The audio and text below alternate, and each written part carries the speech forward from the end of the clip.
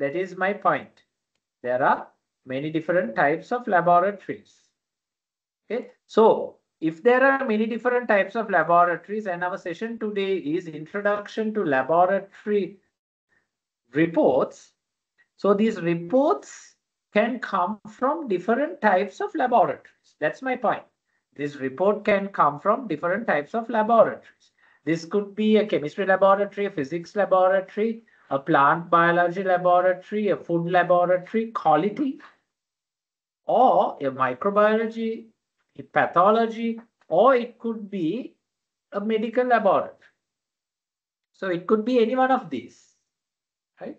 That's what I want you all to keep in your head, right? Because because what lot what happens to a lot of students is when they enter this field they think ah this is just MLT අර lab එකේ ගිහිල්ලා වැඩ කරනවා lab report කියවම ඒකලා ඉතින් ah that that lab report you get in MLT hmm? no that's not what a lab report no that's not the only thing that a lab report is a lab report is far more broad in scope Lab report is far more broad in scope. Okay, right. So, what do you expect to see in a laboratory report? The laboratory report එකම then what උණ As we were discussing, උණ Whatever the purpose is, what is in the lab report? Usually, there is a title and author. Again, where, who did the report? What is the report about?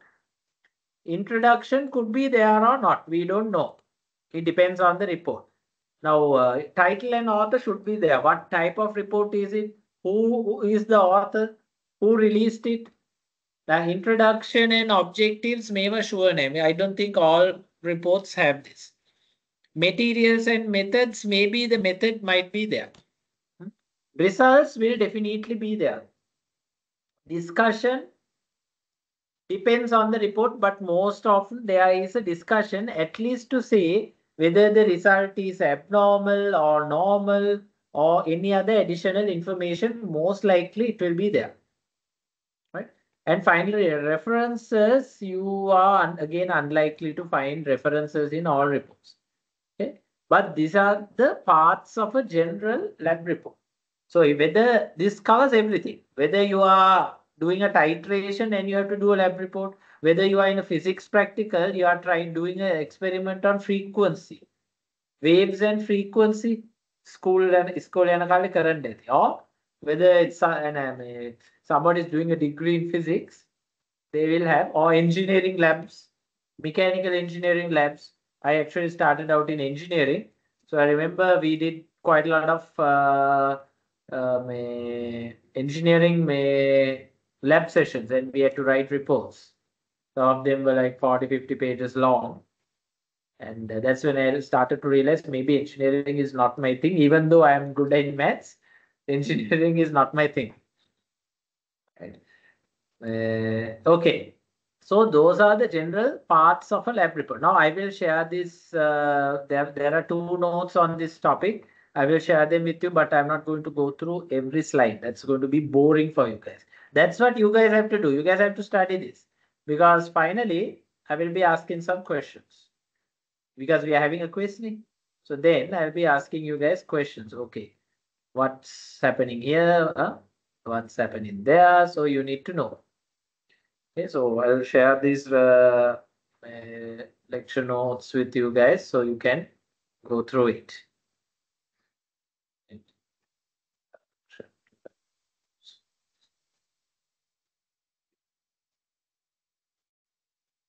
Right. So, uh,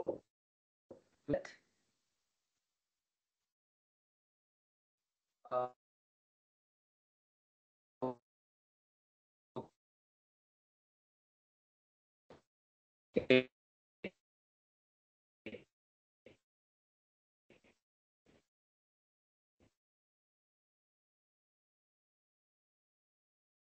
go for the traditional lab report. This is the medical report. In this report, they think of this report.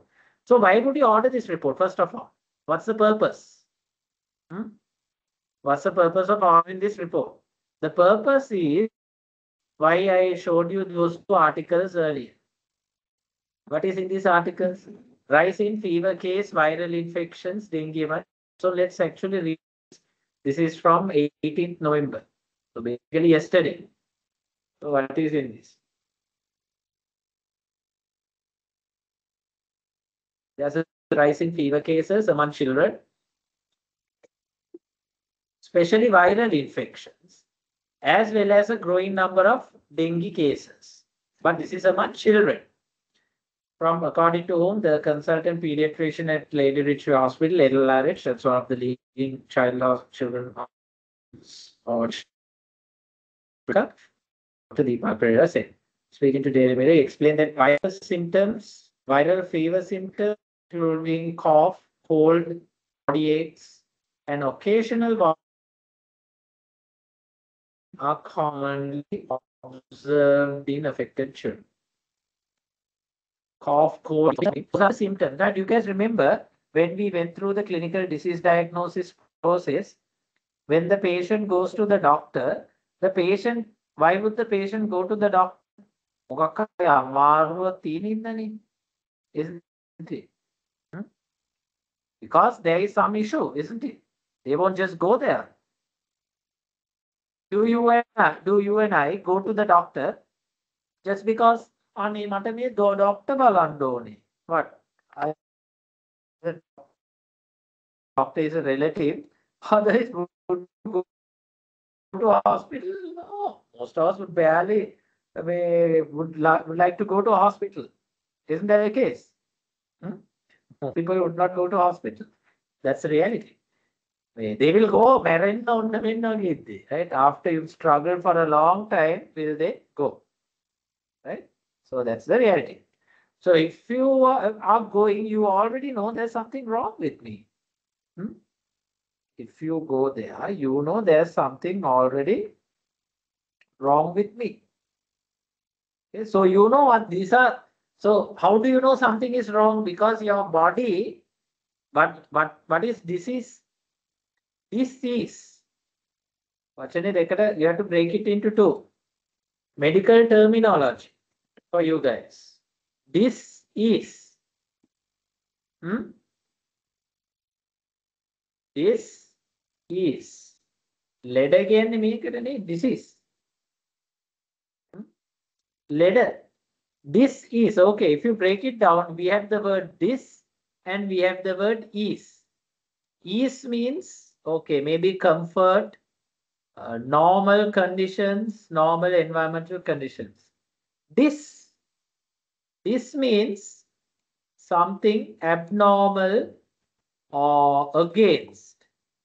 So when you combine the two words, the meaning you get is there is an abnormal situation.